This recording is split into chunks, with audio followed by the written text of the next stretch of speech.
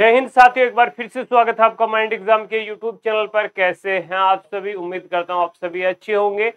Video में साथियों detail से हम बात करेंगे सीआरपीएफ कांस्टेबल ट्रेड्समैन ड्राइवर भर्ती 2023 के बारे में। जी हाँ साथियों, लगभग सभी राज्यों के फ़िज़िकल ट्रेड डॉक्यूमेंट साथ ही दोस्तों मेडिकल एग्जामिनेशन है, वो कंप्लीट हो चुके हैं। जो अभ्यर्थी मेडिकली यानी दोस्तों ग्राउंड फिट हो चुके हैं। अब उन सभी को बेसब्री से इंतज़ार है कि आखिर उनका फाइनल रिज़ल्ट कब तक आएगा।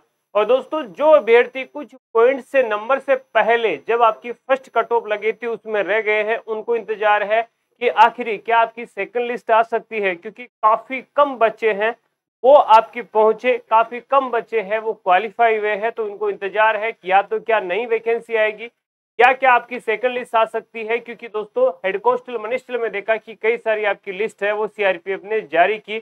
यही स्थिति उसमें भी देखने को मिली थी। साथ में दोस्तों, कब तक आपका इस भर्ती को कंप्लीट कर लिया जाएगा? कब तक आपकी ज्वाइनिंग आपको मिलने वाली है? कंप्लीट इन्फॉर्मेशन दोस्तों, इस वीडियो में हम आपको डिटेल से प्रोवाइड करवाने वाले हैं। वीडियो आपके लिए काफ़ी इंपॉर्टेंट रहेगा तो वीडियो को अंत तक ज़रूर देखेगा साथ ही वीडियो को लाइक शेयर करना, दोस्तों चैनल को सब्सक्राइब करना भी बिल्कुल भी मत भूलेगा और कोई भी आपका सवाल है और जो साथी है वो मेडिकली यानी दोस्तों ग्राउंड फिट हो चुके हैं, उन सभी साथियों को बहुत बहुत बधाई। कौन से राज्य से आप मेडिकली फिट हो चुके हैं, किस कैटेगरी और किस दोस्तों ट्रेड से हैं कमेंट करके साथियों ज़रूर बताएगा। चले हम दोस्तों कंप्लीट इन्फॉर्मेशन देख लेते हैं। दोस्तों, मैं कंप्लीट इन्फॉर्मेशन की बात करूँ तो दोस्तों लगभग सभी राज्यों के हैं, वो आपके फ़िज़िकल ट्रेड और दोस्तों सभी चीज़ें पूरी हो चुकी है। अब दोस्तों, सबसे पहले मैं बात करूँगा आपकी सेकंड लिस्ट को लेकर, क्योंकि काफ़ी ज़्यादा कमेंट मैसेज कॉल आ रहे थे। जिन बच्चों का सिलेक्शन अच्छे मार्क्स होने के बावजूद भी है, उनको फ़िज़िकल के लिए नहीं बुलाया गया था। काफ़ी बच्चे परेशान है क्या सेकंड लिस्ट आ सकती है। क्योंकि दोस्तों, जो आपकी एससीएम की थी में आपकी सेकेंड और थर्ड लिस्ट भी आई थी तो क्या सीआरपीएफ ट्रेड्समैन में सेकंड लिस्ट आ सकती है? दोस्तों, जो अभी तक का अनुमान है, और दोस्तों, जहाँ से भी मैंने जानकारी जुटाई है उसके अकॉर्डिंग है, वो सीआरपीएफ सेकंड लिस्ट नहीं निकालेगा। इसका मैं आपको एक रीजन बता देता हूँ, जो रीजन मेरे पास पता चला है, और दोस्तों, आप भी इस रीजन को अच्छे से समझेंगे। क्योंकि दोस्तों मैक्सिमम ऐसे भी मैं कई सारे आपको राज्य बता सकता हूँ, जिनमें मिनिमम कट ऑफ़ मार्क्स में, यानी दोस्तों, बीस, पच्चीस, तीस, पैंतीस नंबर तक दोस्तों कट ऑफ़ गई है। यानी दोस्तों, ये कट ऑफ़ आपकी लगी थी, उसके बावजूद भी बच्चे हैं वो यहाँ दस गुना क्वालिफाई किसी भी ट्रेड में, किसी भी कैटेगरी में नहीं हो पाए। और दोस्तों, इसमें सात, आठ गुना बच्चे हैं, वो पास हो पाए, और वो भी यहाँ फिफ्टी परसेंट अटेंडेंस आपकी उससे भी कम रही। उसमें से भी सिर्फ़ दस परसेंट बच्चे ही पास हो पाए हैं। यानी दोस्तों, कई राज्य में आपको ऐसे बता दूँ, राज्य छोटे नहीं, कई ऐसी बड़े राज्य हैं जहाँ जहाँ तकड़ा कंपटीशन होता है, वहाँ भी सीटें खाली जा सकती हैं। जी हाँ साथियों, मैं एग्ज़ाम्पल जहाँ सबसे ज़्यादा कंपटीशन देखने को मिलता है राजस्थान, वहाँ का मैं आपको एग्ज़ाम्पल देता हूँ। और दोस्तों, जो बच्चे देख रहे हैं, जो बच्चे फ़िज़िकल ट्रेड देखे हैं, उनको खुद को भी पता होगा, मैंने वहाँ से डायरेक्ट कवर किया है। तो यहाँ दोस्तों, मैं बात करूँ तो राजस्थान में 113 वैकेंसी में ड्राइवर का एग्ज़ाम्पल ले रहा हूँ। ड्राइवर की 113 वैकेंसी थी। और दोस्तों 113 के अकॉर्डिंग है, वो लगभग 1200 बच्चों को है, वो फ़िज़िकल और ट्रेड के लिए बुलाया गया था। इसमें से दोस्तों है वो 400 सॉरी 300 300 बच्चे हैं, वो पर डे बुलाए गए थे तीन तीन सौ तीन सौ। उसमें से 50 परसेंट से भी, जी हाँ साथियों, यानी दोस्तों, डेढ़ सौ से भी नीचे अटेंडेंस रही। यानी बहुत कम अटेंडेंस रही। इसके बाद दोस्तों 50 परसेंट से नीचे, यानी 60 और 70 के बीच बच्चे पास हुए फ़िज़िकल में। इससे दोस्तों, बाद में ट्रेड में 10 से 15 बच्चे डिस्कालीफाई हुए। यानी जो रेशियो था, वो 50 के नीचे आ गया। इसके बाद दोस्तों मेडिकल भी अच्छे लेवल का है। वो आपका सीआरपीएफ ने कंडक्ट करवाया, जो 50 बच्चे थे, उसमें से लगभग 30 से 35 बच्चे ग्राउंड फिट हुए। आप इसको मल्टीप्लाई कर लीजिए, चार से दोस्तों चार दिन ट्रेड हुआ है तो 140 के आसपास हम एक मैक्सिमम रेशियो मान लेते हैं। और दोस्तों वैकेंसी मैंने आपको बताई 113 वैकेंसी है। तो 113 वैकेंसी के अकॉर्डिंग आपके 40 बच्चे पास हुए, उस स्टेट में जहाँ कंपटीशन हर भर्ती में एक तकड़ा कंपटीशन देखने को मिलता है और बाकी यूपी का हाल भी यही है, इससे भी बुरा है।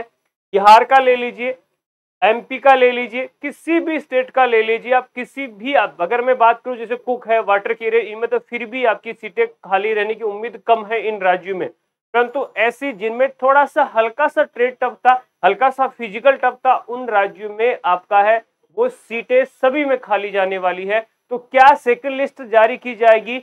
उम्मीद सिर्फ़ 10 परसेंट की है कि आपकी सेकंड लिस्ट जारी की जाएगी। तो उम्मीद किसकी है? साथियों, उम्मीद है न्यू वैकेंसी की, जो दोस्तों 2025 में आएगी। जी हाँ साथियों 2025 में नई वैकेंसी आने वाली है और दोस्तों एक नई वैकेंसी बम्पर वैकेंसी आपको है। सीआरपीएफ ट्रेड्समैन की 2025 में देखने को मिलने वाली है। सेकंड लिस्ट की उम्मीद नए के बराबर है।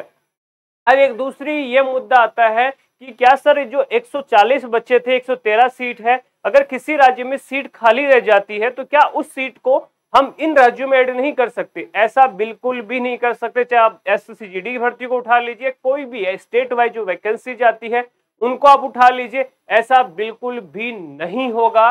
यानी एक राज्य की सीटें दूसरे राज्य के अंदर है, वो ऐड कर दी जाए।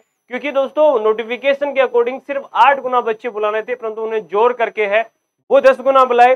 दस गुना के अकॉर्डिंग दोस्तों, जो ड्राइवर है ड्राइवर में दोस्तों, अगर मैं बात करूँ तो 2600 आपकी वैकेंसी जो है 2600 आपकी वैकेंसी है, उसके अकॉर्डिंग है, वो छब्बीस हज़ार बच्चे क्वालिफाई होने थे। छब्बीस हज़ार बच्चे क्वालिफाई होने थे, परंतु दोस्तों, सिर्फ़ आपने खुद डाटा देखा कि सिर्फ़ पंद्रह हज़ार बच्चे ही क्वालिफाई हो पाए डिफरेंस कितने का रहा ग्यारह हज़ार का दोस्तों डिफरेंस आपको देखने को मिला।